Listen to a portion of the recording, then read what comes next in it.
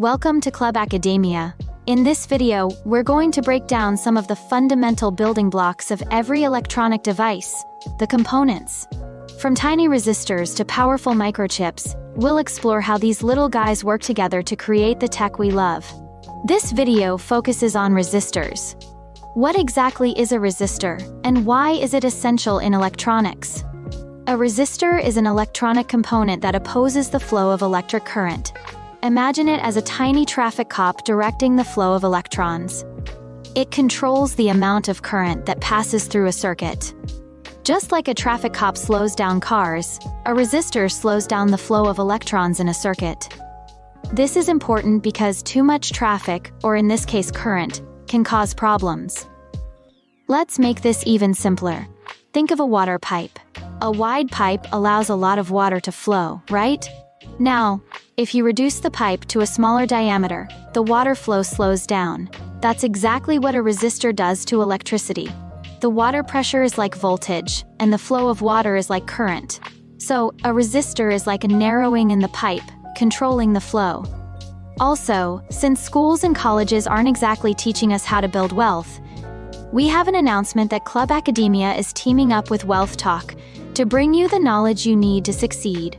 Get ready for a financial education like never before. Learn about stocks, investing, money management, and so much more. Our goal is to empower you to take control of your financial future. Subscribe to the channel, Wealth Talk, for expert advice, tips, and strategies. Your journey to wealth starts now, and financial literacy is just as important, if not even more important, than academic literacy, which is why we want to give you the tools to start thinking about this as early as possible. There are many types of resistors, each with its own characteristics. Let's explore a few common ones. Carbon film resistors. These are the most common and inexpensive, made by depositing carbon on a ceramic core. Carbon film resistors are made by depositing a thin layer of carbon onto a small hollow ceramic cylinder using a process called deposition. Metal film resistors, more precise than carbon film, they offer better stability and higher power ratings. Metal film resistors are made by depositing a thin film of metal or metal oxide onto a ceramic or glass core. The thin film is the resistive element, and the core is non-conducting. The quality of the materials and processes used in their manufacture determines their performance. Wire wound resistors, used for high power applications. Wire wound resistors are made by wrapping a conductive wire around a non conductive core, and then covering the result with an insulating material. A resistive wire is wound around the core. The wire can be made from different alloys, such as nickel chromium, manganese copper, or constantan, and its thickness and type of alloy can affect the resistor's resistance value. Resistors are the unsung heroes of electronics. They're in everything your smartphone, your TV, even your toaster. They help control the volume on your speakers, adjust the brightness of your screen, and prevent your devices from overheating. They're like the backbone of the electronic world. Resistors have four colored bands. The first two tell you the digits of the resistance value, the third band is the multiplier, and the fourth is the tolerance. The common colors for the first two bands and their values are 0 black, 1 brown, 2 red, 3 orange, 4 yellow, 5 green, 6 blue, 7 violet, 8 gray, 9 white.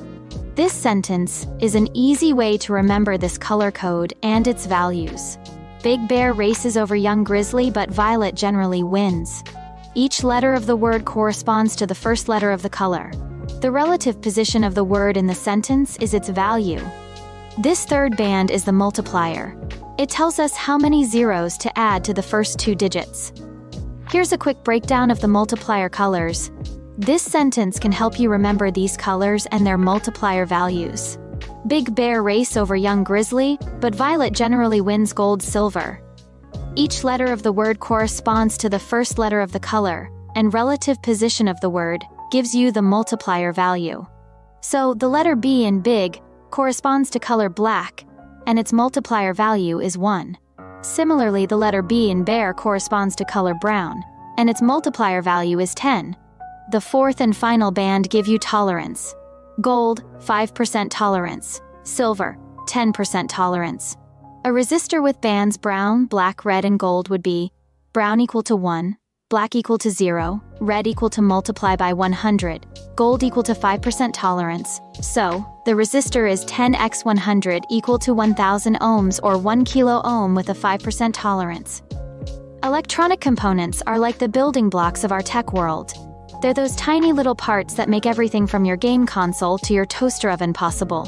Understanding how they work is like unlocking a superpower. So, why should you care about electronic components? Well, for starters, they're the foundation for robotics. Imagine being able to design and build your own robot army. With a solid grasp of electronics, you'll be able to bring your robotic creations to life. But it's not just about robots. Electronic components are also essential for computer science, coding, and even artificial intelligence. Want to create the next big app or develop self-driving cars? You'll need to know your way around circuits and components. Thank you for tuning into this video. Take a moment to subscribe to Club Academia, as well as our financial literacy education partner Wealth Talk, which shares the tools and tips for smart financial planning.